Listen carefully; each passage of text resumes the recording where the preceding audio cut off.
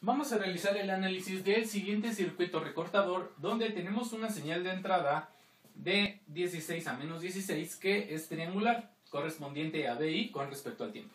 Bien, entonces, para poder obtener la gráfica equivalente, pero ahora con B0, lo que vamos a hacer es colocar unas terminales a la salida en esta parte de aquí con la siguiente polaridad más menos. Es como imaginar que tenemos un multímetro conectado con esa polaridad, de tal manera que al obtener la lectura tendremos una gráfica a la salida que va a ser modificada precisamente por el arreglo en paralelo que contenemos de la fuente de voltaje directo que corresponde a 4 volt y al diodo que está anexado en esa parte de ahí, teniendo una conexión en paralelo.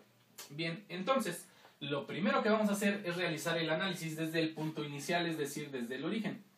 En ese origen vamos a ver qué pasa o de qué manera se comporta esta señal triangular. Para eso vamos, vamos a dividir el análisis en dos partes, comenzando con el semiciclo positivo. ¿Qué pasa en el semiciclo positivo? Bien, en el semiciclo positivo, cuando yo tengo mi valor aquí de 0 volt para mi señal triangular de entrada, yo lo que voy a tener va a ser esta fuente de 4 volt que va a estar enviando una señal constante de 4 volt de tal manera que este diodo se va a encontrar como un circuito abierto debido a que va a estar en corte. ¿Eso por qué? Pues precisamente por la polaridad del diodo correspondiente que es más menos. Cuando el diodo está teniendo una señal que entra por la parte negativa, entonces el diodo se comporta como si tuviéramos un circuito abierto. ¿Por qué? Porque no conduce corriente. Y al no conducir corriente es como si no existiera ese diodo. Es decir, que el arreglo ahí sería tener un circuito abierto. Lo cual quiere decir que lo que estaríamos midiendo sería precisamente la misma señal de entrada BI. ¿Por qué? Porque es imaginar que al aquí estar en corto, esto estaría abierto. Al estar abierto es como si esta parte no existiera en el circuito, de tal manera que lo único que va a medir el multímetro o nuestro osciloscopio va a ser la misma señal de entrada BI. Por lo tanto, va a ser en el mismo punto de origen exactamente el mismo valor. Ahora, ¿qué pasa a medida que va creciendo?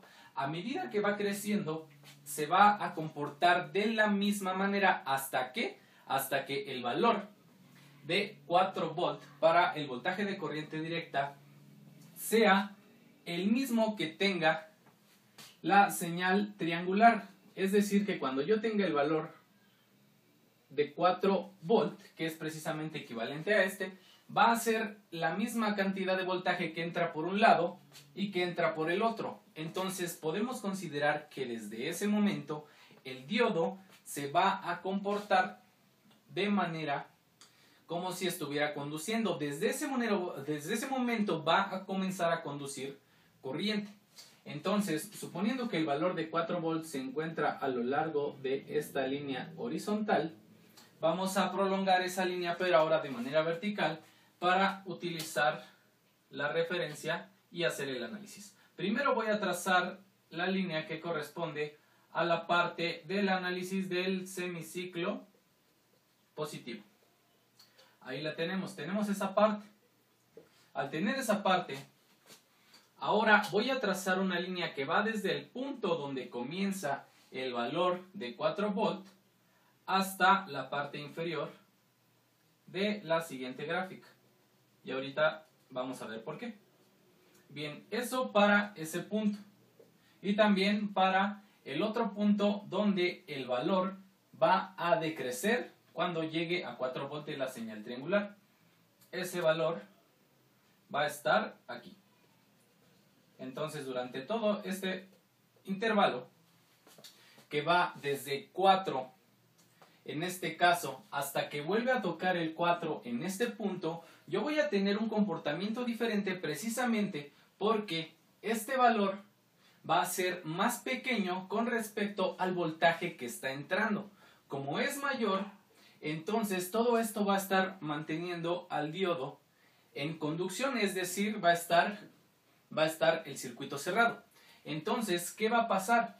Como este mismo valor yo lo voy a tener en la salida, porque lo tengo en paralelo considerando un diodo ideal que enciende inmediatamente. Entonces aquí la fuente de corriente directa de 4 volt va a ser exactamente el mismo valor que vamos a tener a la salida por un cierto intervalo, intervalo de tiempo, lo cual quiere decir que ese valor va a ser constante. Eso me indica que si mi valor de 4 volt para B0 se encuentra aquí, yo también lo voy a tener prolongado de cierta manera en mi nueva gráfica que voy a tener a la salida. Y bueno, colocando aquí al valor de 16 y el de menos 16, lo que vamos a tener ahí ahora va a ser precisamente el comportamiento de la nueva gráfica. Ya habíamos dicho que en el primer intervalo de 0 a 4 volt para el voltaje de entrada vamos a tener exactamente el mismo comportamiento porque el diodo se va a encontrar en corte porque este valor va a ser mayor lo cual me va a indicar que va a estar en corto el diodo. De tal manera que lo único que voy a tener de lectura va a ser precisamente el valor de el voltaje BI. Bien, ya tengo esa parte. Ahora, como a partir de este valor en BI va a ir creciendo, todo esto va a estar realizando un circuito cerrado porque va a ser mayor la cantidad de voltaje que entra por la parte positiva del diodo, manteniéndolo en conducción. Entonces, el circuito estará cerrado y todo ese valor va a ser constante hasta que, hasta que nuevamente sea menor el valor de BI en esta parte donde está decreciendo. Es decir, que en, este, en todo ese intervalo vamos a tener un comportamiento constante para esa señal de esta forma. Porque voy a mantener esos 4 volts constantes porque únicamente voy a estar realizando la lectura del voltaje de corriente directa. Los mismos 4 volts que tengo son exactamente los que voy a medir hasta que vuelva a decrecer aquí la señal y el diodo se encuentre nuevamente en corte. Bien, ahora, ¿qué va a pasar en este intervalo? En este intervalo, para el semiciclo positivo, lo que vamos a tener es precisamente el comportamiento que se tenía al principio porque esta fuente de voltaje es mayor. Como es mayor, entonces va a poner nuevamente al diodo en corte y es como si esta parte nuevamente no existiera. Por lo tanto, el mismo comportamiento lo vamos a tener para la primera gráfica como para la segunda en ese intervalo. Ahora, ya acabamos con la parte del semiciclo positivo. ¿Qué, ¿Qué pasa en la parte del semiciclo negativo? Bueno, ahora en la parte del semiciclo negativo vamos a realizar el mismo análisis, pero ahora considerando que las terminales ya no van a ser como comúnmente se ponen, que son más menos, que no las puse precisamente porque ya está implícito en el ejercicio. Ahora lo que vamos a hacer es invertir esa polaridad a partir de este punto que va a ser mi comportamiento aquí. Entonces ya no vamos a tener esta polaridad porque esta era para el semiciclo positivo. Ahora para el semiciclo positivo se invierte la polaridad y tendremos menos y más. De tal manera que al tener un voltaje comenzando desde aquí en cero negativo, vamos a tener que la suma de este voltaje de corriente directa va a ser ahora también la suma de estas dos, es decir, que en la parte del semiciclo negativo tendremos BI más B de corriente directa. Y esto me va a corresponder a la cantidad de voltaje que se va a presentar aquí. Pero eso que me indica, en esta parte yo voy a tener todo el tiempo al diodo en corte, es decir, porque tiene una polaridad invertida. Entonces es como si el diodo no existiera. Es lo mismo a colocar lo siguiente. Dado que el diodo está en inversa, en polaridad inversa, está en corte. Como está en corte, entonces es como si el circuito estuviera abierto. ¿Qué pasa si yo tengo el circuito abierto? Al estar en paralelo con el multímetro u osciloscopio, entonces la señal de entrada que yo voy a leer va a ser únicamente la misma que BI, porque es como si estas terminales las estuviera poniendo aquí. Por eso tiene el mismo comportamiento. Entonces, para toda la parte del semiciclo positivo, el comportamiento de la gráfica de BI va a ser el mismo al comportamiento de la gráfica de B0 para el semiciclo negativo. Entonces, realizando el trazo para que esto sea equivalente, vamos a tener lo siguiente.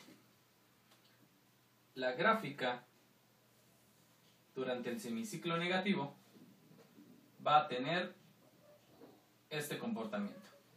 De tal manera de que la gráfica correspondiente al circuito recortador en paralelo corresponde a esto que tenemos aquí, porque el voltaje B0 se encuentra en las terminales del el osciloscopio o del multímetro. Bien, entonces espero que este ejemplo haya sido de ayuda y gracias.